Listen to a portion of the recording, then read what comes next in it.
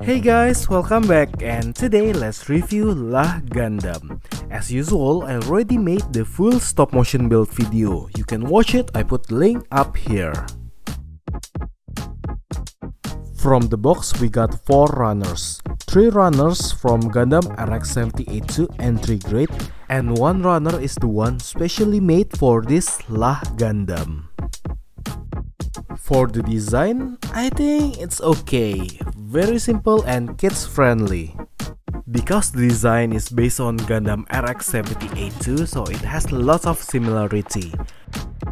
For the head, somehow it reminds me of high-grade Gundam Shenlong.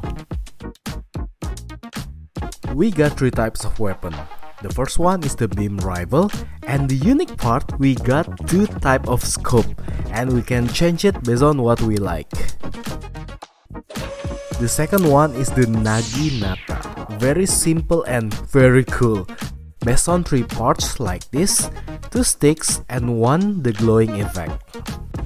The Naginata sticks can be attached to the backpack like this. We also get beam sword, but only the handle without the effect.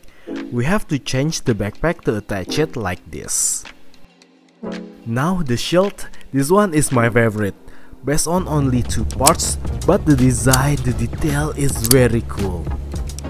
The joint strength is good and solid, but the articulation is very simple and limited. I understand because this is an entry grade and made for beginners, so that's why Bandai make it very simple like this. Now the question, is it worth it? My answer simply yes, if you buy at reasonable price.